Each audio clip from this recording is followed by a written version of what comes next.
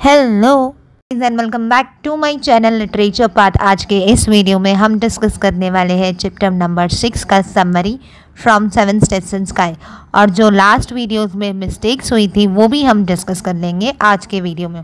सबसे पहले मैं बता दूँ कि इस चैप्टर में प्रेगनेंसी के बारे में बहुत मैग्नीफाई करके बताया गया है। गर्ल्स के लिए बहुत इंपॉर्टेंट है एंड मैन के लिए भी। फाइबा आंट है व्योमेश की Harsh as a new born baby Vyomesh की एक कज़िन भी दिखाई जाती है। प्रेगनेंसी का मतलब है condition between conception and birth during which the fertilize egg develops fertilization of an egg by sperm Only yesterday she used to play running around the tree. Today her feet are swollen.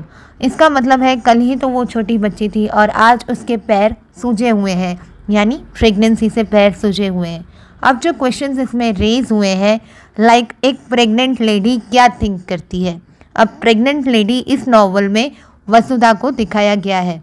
This is a seat from man I am providing it facility to grow and yet he has no physical responsibility for bearing this child अब क्या होता है? Woman pregnant तो हो जाती है but man को physical responsibilities नहीं निभानी होती है तो वो ऐसे ही छोड़ देता है।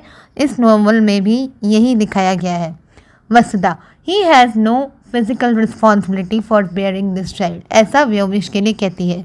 चॉइस ऑफ़ अ वुमेन में ऐसा दिखाया गया है कि ये वुमेन की चॉइस के हिसाब से कुछ भी नहीं होता है जब वो प्रेग्नेंट होती है। Whatever happens in my body ऐसे।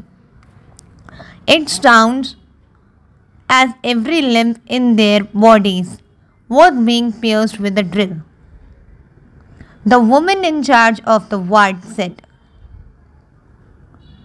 Fiber would say, What you are worrying about? We are here to look after you at last. New life came into existence. They also kept a woman helper, was employed for a short time. They named the boy Harsh.